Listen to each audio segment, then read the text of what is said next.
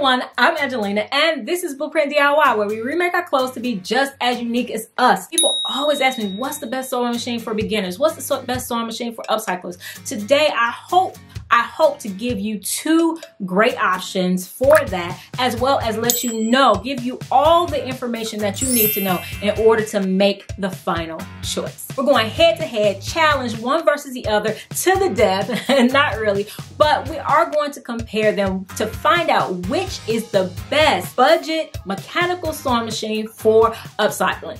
Let's get ready to rumble! In this corner, we have the Brother ST371 HD Strong and Tough. It is priced at $169.99, so $170. It has 37 stitches, and the speed is 800 stitches per minute. It has a one-step buttonhole, automatic threader, and it does come with an instructional manual and a DVD. And as an extra, it has a drop feed for free motion sewing. It has a 25-year limited warranty and phone support for the life of the product. Number 15 transparent bobbins. It has a free arm and an extra high lifter foot. The accessories that it comes with are zipper foot, blind stitch foot, buttonhole foot, button sewing foot, spring action zigzag foot, non-stick foot, twin needle, three-piece needle set, four bobbins, extra spool pin, two spool caps, screwdriver, and machine dust cover. And in this corner, we have the Singer Heavy Duty 4452. The price is $190. I got the 4452 because it came with a walking foot. The walking foot on Amazon is typically about $19. So the one down from this 4432, the only difference is some additional accessories, which includes the walking foot. So I figured that was worth the extra $10. It has 32 stitches. The speed is 1,100 stitches per minute. It has a one-step buttonhole, an automatic threader. It comes with online classes and an app. It has an extra large stainless steel bed plate. It has a 24 year limited warranty. The bobbins are number 15 transparent. It has a free arm and it has an extra high lifter foot, which is amazing for upcycling. The accessories it comes with is a walking foot, non-stick foot, pack of 100 over 16 needles, clearance plate, aka hump jumper, all-purpose foot, zipper foot, button foot, buttonhole foot, quilting guide, seam ripper slash lint brush, needles, bobbins, screwdriver, auxiliary spool pin, spool pin felt, and soft-sided dust cover. And if you haven't subscribed, definitely subscribe. If that little subscribe button is red, hit it and turn it gray. And hit the bell to turn on all notifications. You'll never miss another video. And did I mention that when we hit 100K, I will be doing an amazing upcycle of your choice for one subscriber. Yes, it is happening. So definitely subscribe and share this video on your social media so everyone knows all the amazing stuff going on here. Thank you so much. All right, for the Brother Strong and Tough, I really like that it comes in this white and black color. Um, it pretty much goes with any sewing room or whatever, or at least it goes with mine. And it has right up on the top, it tells you exactly how to thread the bobbin as well as how to um, thread the sewing machine. It threads pretty much just like any other sewing machine. It has the see-through bobbin cover and it just pulls out and actually this sewing machine had some plastic up on the top that was on there so well that I just realized when I was about to film this video that the plastic was still on. So I took it off because I hate when plastic is still on. But let me know in the comments, are you a plastic lever owner or a plastic taker offer? but anyway, it has the reverse foot right here. You can change your stitch tension here, stitch width or your zigzag width. It also moves it moves the needle back and forth. And you can also change your stitch length here. You thread the bobbin there. This one has it where you tuck the extra thread underneath here and then you create your bobbin so you don't have to keep it out on top. It has 37 stitches, which I actually do not use. I use maybe three stitches. I use stitch one, two, and three and that is it. The cover opens and all of your accessories. It has a little, a nice little plastic case. And of course, it has a free arm. Now, some machines like the front and back come off. This one, just the front comes off and then you can tuck your material underneath. It still has this piece right here. So it goes up to like right here. Um, I guess you have a little bit more room there for material, but it's pretty much from there to there where you have your free arm. And then this button here affects the feed dog. So it'll raise the feed dog up and down. The cord on this one I think is more of a standard length. Um, the other one I think the cord is slightly shorter, but um, it's acceptable. And if you're wondering about my little uh, sewing caddy attached to the table, I have a tutorial for that as well. I'll link it here. And definitely let me know in the comments, what is your ultimate budget sewing machine?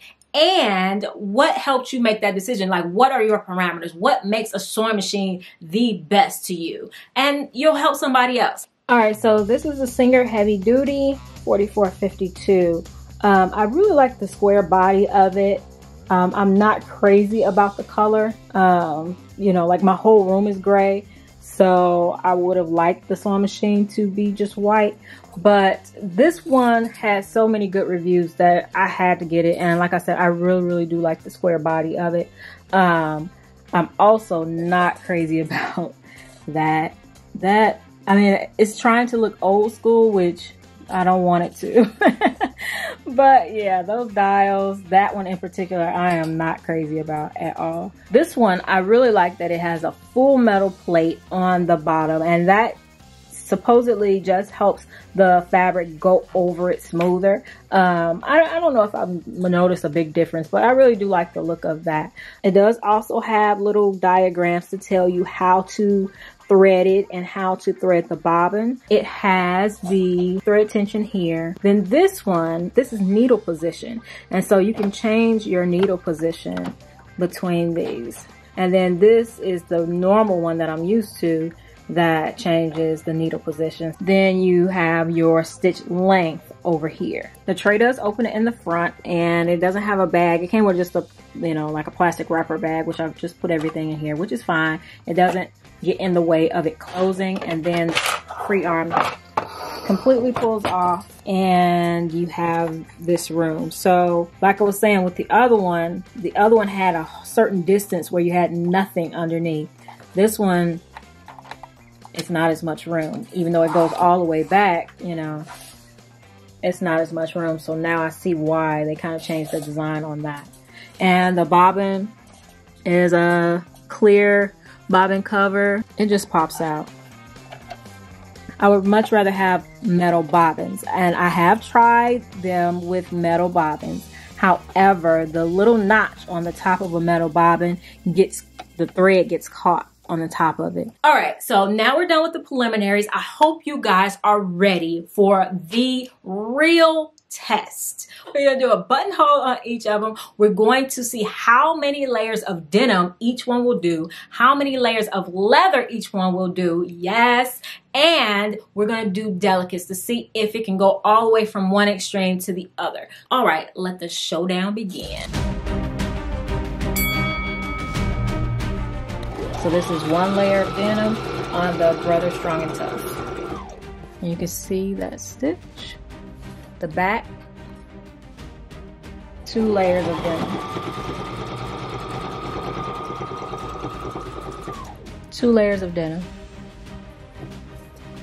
And that's the back. Four layers of denim. Four layers of denim. The back.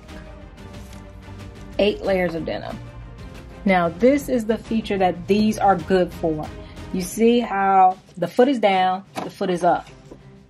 But I can have that extra amount that I can raise up and I can completely clear that. That's unheard of for a regular sewing machine.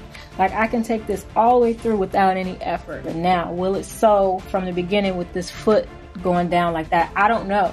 Um, the Singer came with a hump jumper. We'll see.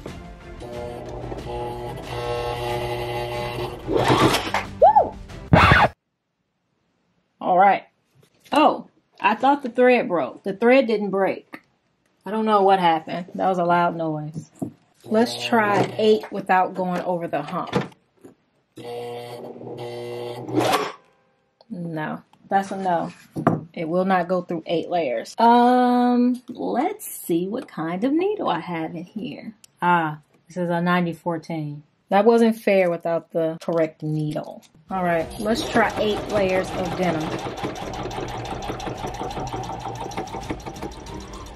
Eight layers of denim. Yes. Gotta give it a fair shake. The back stitch. All right, that's 10 layers of denim. The needle will go down in there, so that's good. Yes! 10 layers of denim, baby. Look at that. Changing the game in these streets. I'm way too excited, but for real. If you try this out through denim, tell me you're not excited. Tell me you're not excited. 10 layers of denim like butter. So, let's go with one layer of denim. And there, I know for sure this is a number 16 needle because I always keep a 16 needle on this one. One layer of denim. Other side, hmm, I'm not as impressed with the underside. Let's play with the tension and see if I can get it good.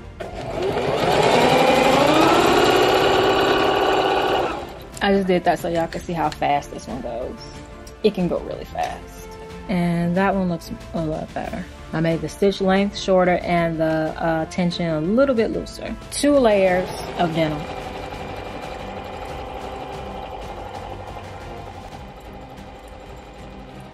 It's this one.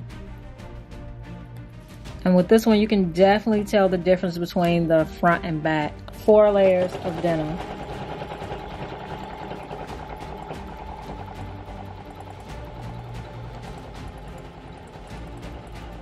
That's four layers. That's the back. I actually have tested this machine before, so we can go straight to eight. Unless it makes me eat my words. Woo! Of course it did. Oh, needle bro. Dang! That's the needle. Alrighty, well, eight layers of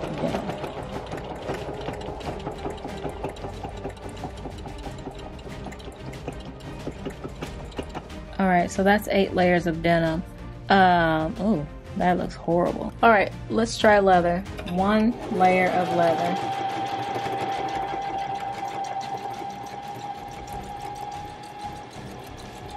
Pretty darn good. Yeah, I have um, a skip stitch right here and right here, so that's interesting. Two layers of leather.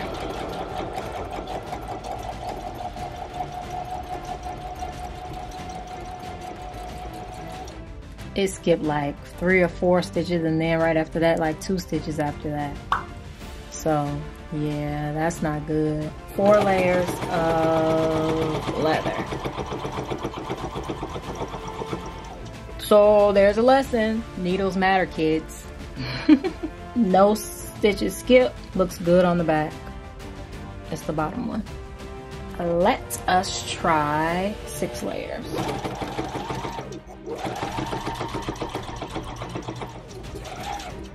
Six layers of leather. Perfectly done. Let's see if we can do eight.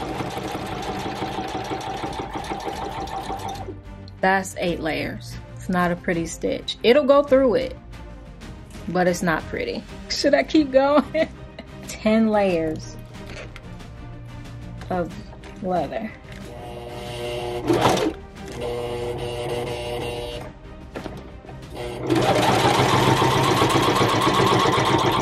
Wow, that actually doesn't look bad at all. That's 10 layers of leather. It looks good on the back too. It's this one. That doesn't look bad at all. 10 layers of leather. Under $200. So this is real leather. It was the same leather cut from the same piece for both machines. One layer of leather.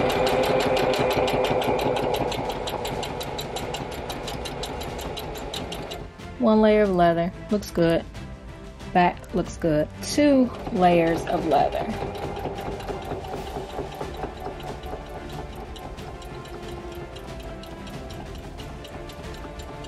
It's this stitch here. Two layers of leather. Looks really good. The back is pulling just a little bit. Four layers of leather. All right, let's stop. I used a non-stick foot on the other one, so it's not fair. Let me use a non-stick foot on this one because it did come with that.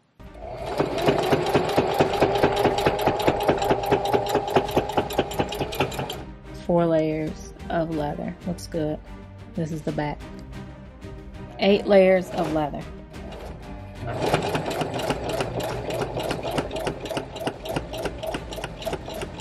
Eight layers of leather right here. That stitch looks really good. That's the back stitch. So 10 layers of leather. I'm gonna try on the same piece that we used for the other sewing machine.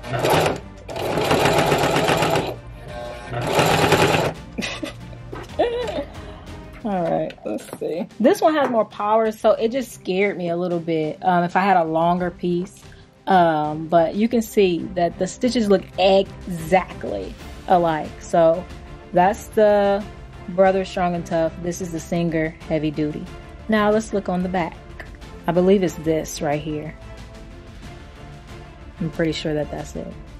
All right, so I put the number 14 needle back in and we are going to sew this thin stretchy uh, material. I know some people have trouble with materials like this so we're to use this thin stretch material. Okay, you can see without any assistance it drew that up. So let's change the thread tension.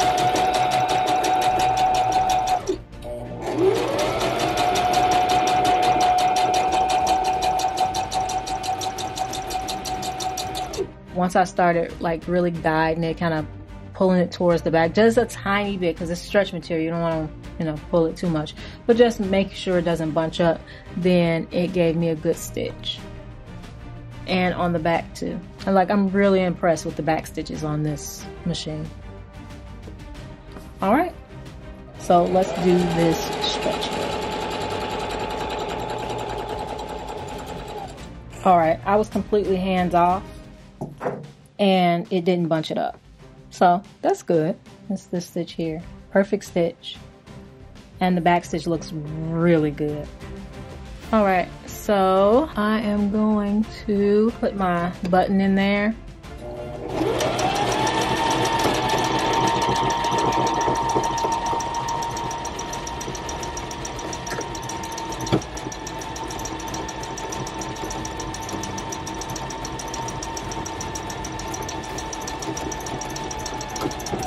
I did it, guys! Not perfect. It's gonna take some work. But yeah, that's a buttonhole. You put your buttonhole in there. Why are you so fast?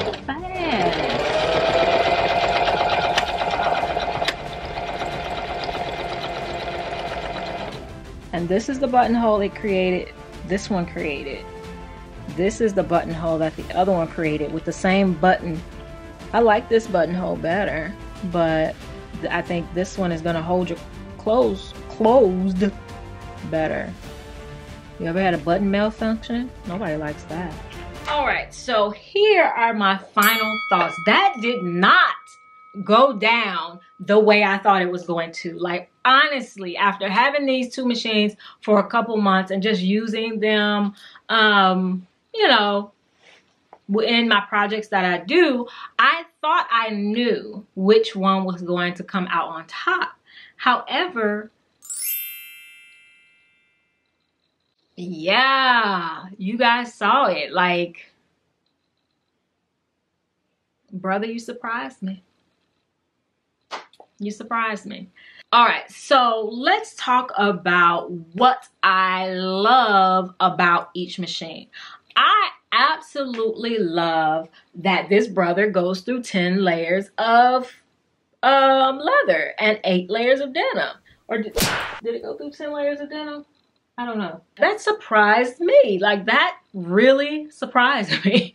I I'm I'm outdone. Like, and because like it has less stitches, it goes slower. I just assumed that it wasn't going to go through as many layers. So you can't judge a book by its cover or by its specifications. Um, yeah, so I'm happy about that. I'm so happy about the how high the foot goes up, and um, I like the way it looks. So yeah, it, it was a good purchase for $170 a great machine. This one, what I love about this one is I really, really like the metal plate on it. I do like the speed of it um, because when I'm just sewing regular stuff with this one, sometimes I have it all the way down and I'm like, oh, would you please go faster? That's just me. That's how I like to sew. Um, it's my personality. Like, you know. But um yeah so i really like the speed of this machine. It does feel very durable. It says on the specifications that it has a metal um carriage like inside body. So um yeah it's very durable. Neither one is like super heavy. Now they're not as heavy as my old machine um from 10 years ago. But it is an excellent machine that machine gets really really good reviews i think both machines will last very long um one thing that bugs me about both machines compared to my old mechanical machine um, is that neither machine comes with the ability to set it so that your foot goes down every time you stop or stays up every time you stop. And that to me is so annoying. It is so annoying. And I feel it every time I stop a stitch. And it's i'm comparing it to my old machine that cost you know like $400 10 years ago which is an expensive mechanical machine. So it may be an unfair comparison but i just think if they had added just that one little thing one thing that these machines would be perfect. Um, because they're better than my old machine in every other way except for that oh and the metal bobbins the plastic bobbins yeah those two things. Those are the two things that just really annoy me. So yeah, that's it. And I actually have a little secret. You guys know that I did my sewing studio tour about two weeks ago, maybe two weeks ago. But I have an addition in my sewing room and I am just so in awe. Like just so grateful and so just blown away by this thing. And I'm gonna show it to you, give you a little sneak peek, a little sneaky peeky of my new baby. Yes! This thing is a beast. And it is gorgeous. And it is mine. And you guys are probably gonna say like, what?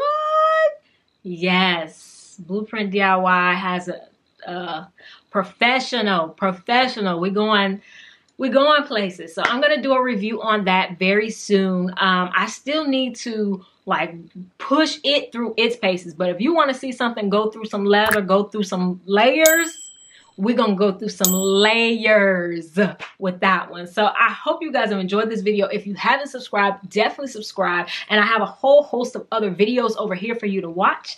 And i will see you in the next one. Bye